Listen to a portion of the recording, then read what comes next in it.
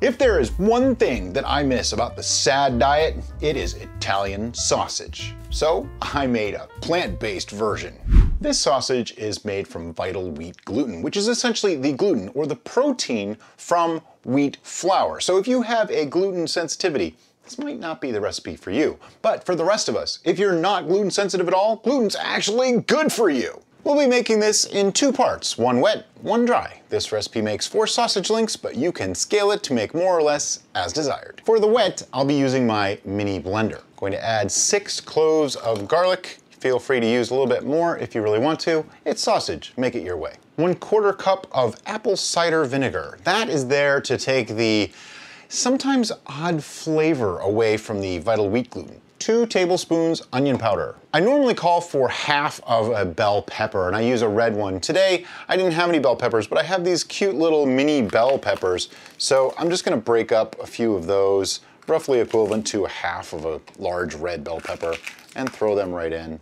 We're also gonna add two tablespoons of white miso paste. Now this is an interesting ingredient because it adds a saltiness and an umami that I think the sausage really, really needs. Now, a lot of people get freaked out about using miso because it is very salty. However, it's actually known to lower blood pressure, not raise it. And last but not least, we need a little bit of liquid to lubricate things and get it going, three quarters of a cup of water. And that just about fills my mini blender. Pop the lid on, and now we blend.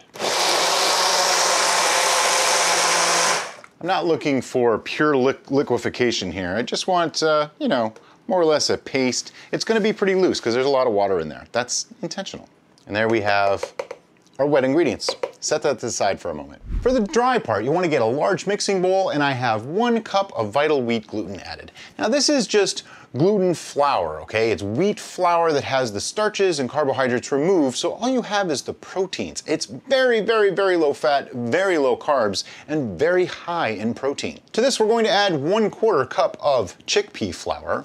Now, you can use other kinds of flours if you want to. I just like chickpea flour. One tablespoon of red pepper flakes. These are optional, but you know, I'm making a hot sausage, so to me, they are not an option, they are mandatory. Two tablespoons of dried thyme. Now, if you have to use fresh, you're gonna need a lot more. I suggest using dry for this, but as I always say, you can never have enough time. Two tablespoons of dried basil. Again, I use dried ingredients for this all the time because it's just so much easier. Two tablespoons dried oregano. One teaspoon of freshly cracked black pepper. And one thing that really gives this that Italian sausage flavor is two tablespoons of fennel seeds. Now these have been toasted in a dry pan, you know, just on medium heat until you start to smell them and you see a little wisps of smoke. Now we just wanna give this a good mix, get all those dry ingredients incorporated together so you don't get like, you know, 15 fennel seeds and nothing else in one bite. If it seems like a lot of seasoning and a lot of herbs and spices, you gotta remember,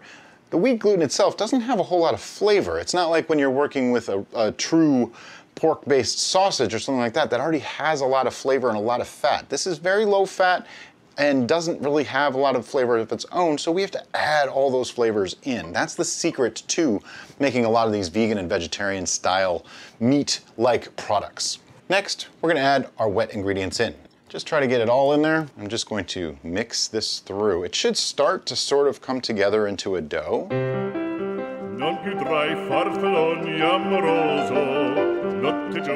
At a certain point, you just gotta use your hands. Once you get it into a dough, you wanna knead this for a full 10 minutes. The kneading process is really important for seitan because it helps to develop the texture. So that way it won't be more like a bread consistency. It'll actually feel more meat-like and have strands. What we wanna do is develop that gluten with the kneading process. So I'm just gonna get it all up out of the bowl.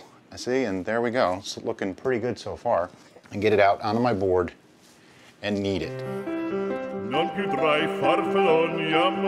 And you can see we have some chunks of those peppers and the pepper flake and things like that. That's why I don't like to obliterate that stuff and liquefy it too much. I wanna have, you know, some nice little chunks in there, give a little breakup of the texture as well as it gives a better appearance. The dough should feel moist, okay, not wet. It should feel moist. If it feels too dry, you can add, you know, a little bit of water at a time, just like a half a teaspoon at a time. If it feels super, super dry, as in it won't even come together, like see how this is actually really nice already? If it won't even come together, you can add just, you know, like I say, a teaspoon or so of the vital wheat gluten at a time until you get it to where you need it to be. But I've actually tested this recipe a few times and it's worked really, really well with this amount. After our 10 minutes is up, we have a nice solid dough. I'm just gonna put that back in the bowl for a moment and put it to the side. Now, what we wanna do is prepare our sausage making casing, if you will. I'm just gonna take a piece of parchment paper here, fold it in half. The exact size isn't super critical, but you know, you want it to be roughly sausage in length plus a little bit. So something like that should work. And I'm gonna tear that in half. Can you cut it? Of course you can, but you know, I like making things hard on myself while I'm making videos. You should end up with four relatively large sheets of parchment paper. These are like six, seven inches or so square. And there we go, four pieces, put them to the side.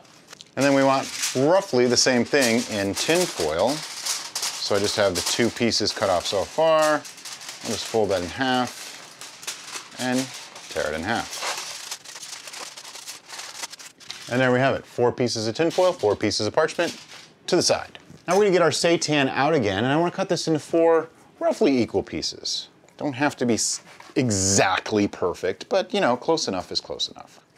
Uh, they're not all that equal, it's okay. Grab one of those along with a piece of tinfoil and a piece of our parchment.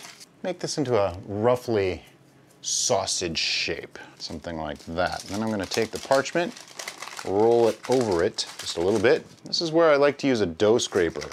Just stick it right on the edge like that and pull towards me. Makes a very nice tight roll of that sausage. And if you're careful, you can get it to be pretty even. I'm gonna roll that up.